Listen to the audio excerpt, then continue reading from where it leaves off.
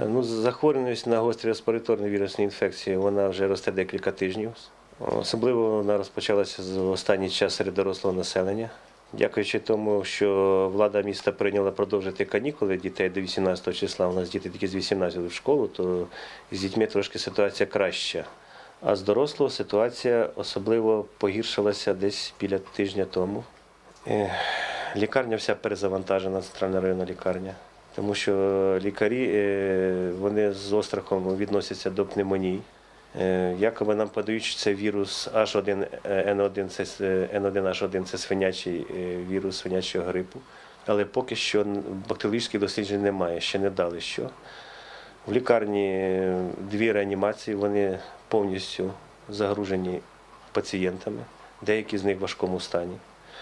Діагностують геморагічну пневмонію, яка розвивається е, миттєво. Е, Цікаво, що хворіють е, і багато по Україні. Ми, мабуть, дивитися телебачення і в інтернеті, що багато тих, які люди, які померли, це люди віком до 50 років.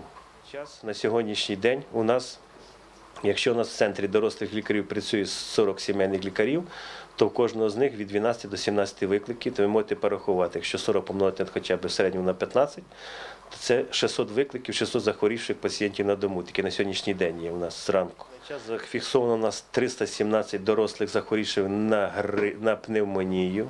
З пневмонією 317 чоловік. І 208 захворівших, 208 дітей.